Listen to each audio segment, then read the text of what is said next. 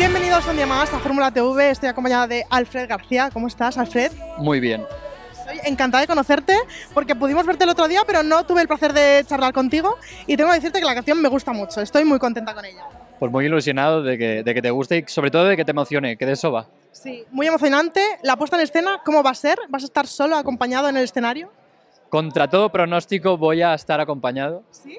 y mi actuación es un homenaje, eh, ya veréis a qué, pero sobre todo es un homenaje en el que voy en parte a ser el protagonista, pero en parte no.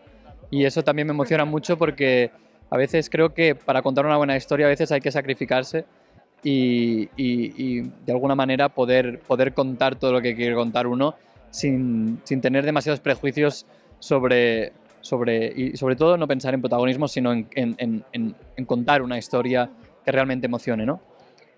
¿Dirías que es tu canción más sincera, en la que más te has abierto en canal? Es la canción con la que me siento más a gusto de toda mi carrera. Mi carrera es una carrera corta, solo llevo 4 o 5 años eh, de, de manera profesional, muy intensa también es verdad, y en la que he vivido una experiencia muy rápidamente, pero al final sí que siento que es la- mi canción más madura y mi canción más serena.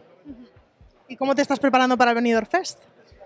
Pues la verdad es que tengo un equipo detrás que, bueno, me lo hace todo muy fácil y, y la verdad es que estoy muy contento, aunque no están todos en España, es una producción his- hispano-argentina.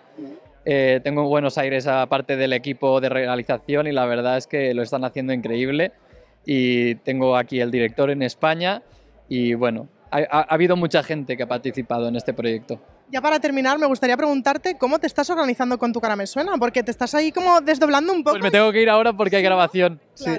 Y aparte, pues estoy también con la producción de un disco para otro gran artista nacional de este país, eh, la composición de otro disco para otro grande de este país. Y, y la verdad es que muy feliz porque también estoy grabando mi tercer disco. ¿Y no nos puedes decir quién? ¿Del artista internacional? No, a- nacional. internacional no.